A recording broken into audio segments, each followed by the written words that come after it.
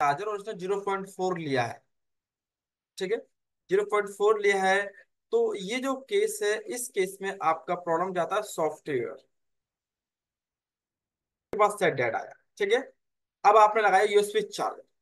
तो उसमें क्या हुआ कि जैसे आपने लगाया तो उसने ओनली आपका वन टाइम जैसे हमारा सेट सही ओके सेट होता है तो ये इस टाइप से लेता है। ज़ीरो पॉइंट सिक्स, फिर आपका वन पॉइंट टू फिर आपका वन पॉइंट एट मेरे कहने का मतलब है कि जब आपका सेट चालू रहेगा तो ये आपका तीन बार नंबर चेंज करेगा। आपके चालू इंटरनेट को लगाएँगे तो ये आपका कम से कम तीन बार नंबर चेंज करेगा। हेलो अगर आप कोई भाई अगर इस टाइम अपनी शॉप पर है तो एक बार लगा के चेक करना कि आ, चालू इंटरनेट में तीन बार चेंज करता है कि नहीं रीडिंग को।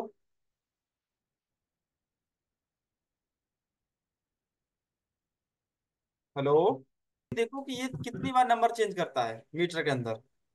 करंट का एम्पियर वाला। तो तीन चार बार करता है। कम से कम तीन बार करेगा। वन टू तीन बार करता है और टू पॉइंट थ्री भी आता है सर फास्ट चार्जिंग के लिए। नहीं वो कोई दिक्कत नहीं पर ये आपका नंबर तीन बार चेंज करता है तो समझ लेना कि आपका फ़ोन ऑन है। आपका मोबाइल ऑन है। ये इसलिए जैसे मान लो किसी का डिस्प्ले खराब है ठीक है? या डिस्प्ले फोल्डर टूटा हुआ है और आपने चाहे लगाया, उसने तीन बार नंबर चेंज कर दिया तो समझो कि वो सेट ऑन है आपका। ठीक है?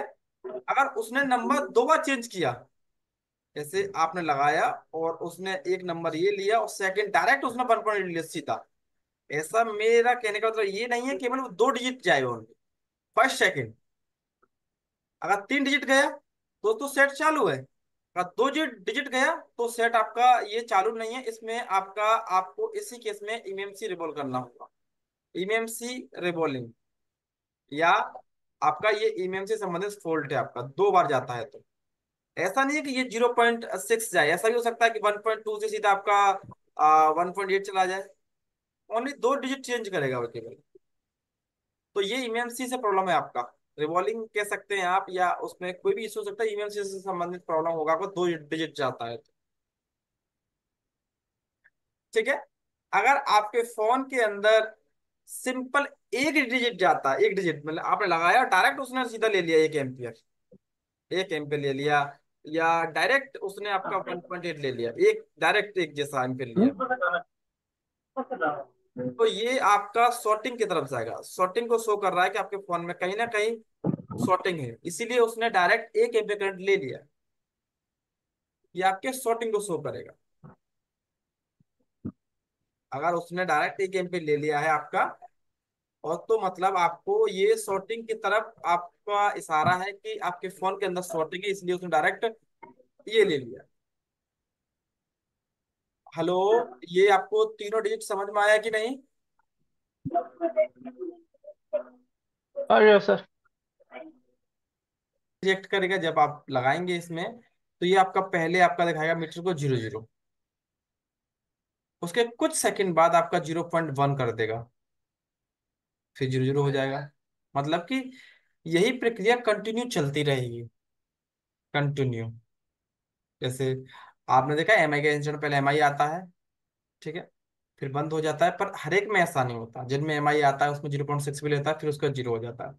तो अगर आपका बैटरी डेड हो गया या बैटरी का पत्ता निकल गया तो ऐसे ही करेगा। Zero point one zero zero zero point one zero zero ये चलता रहेगा। तो आपको समझ लेना है कि या तो बैटरी खराब है, या आपका ये ओपन हो गया है।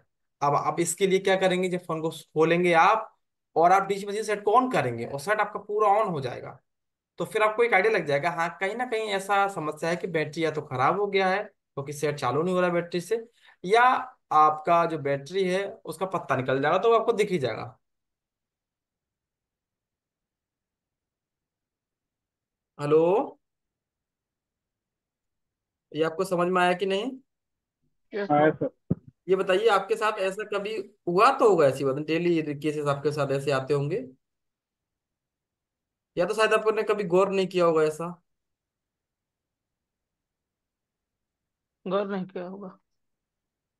ठीक है तो उसमें आपका ये वीवो के सेट में तो सर निशान आया था ना। हाँ। तो आपका ये इस तरह से रिजेक्ट करता है तो आपको एक आइडिया लग जाएगा कि हाँ भाई कहीं ना कहीं सेट में ये बैटरी खराब हो गया बैटरी का पत्ता निकल गया तो आपको एक आइडिया दे देगा ये हाँ कि एक बार ज़ीरो पॉइंट बंद दिखा के ज़ीरो ज़ीरो हो जाएगा। समझ जाना कि बैटरी का पत्ता निकल गया है। कस्टमर बोल रहा है कि सेट गिरने से खराब हो गया, गिरने से बंद हो गया है। तो ये समझ सकते हैं खाली आप इससे।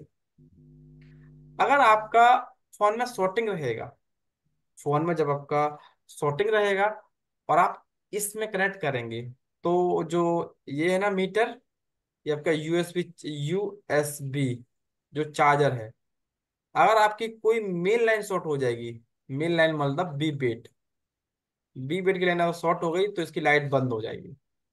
लाइट ऑफ़ इसकी लाइट ही ऑफ़ हो जाएगी। आपकी डायरेक्ट पीएम में भी जाती है तो पीएम तक वोल्टेज पहुँच गया है। अब जितना वोल्टेज अंदर जाता जाएगा, उतना ये दिखाता रहेगा।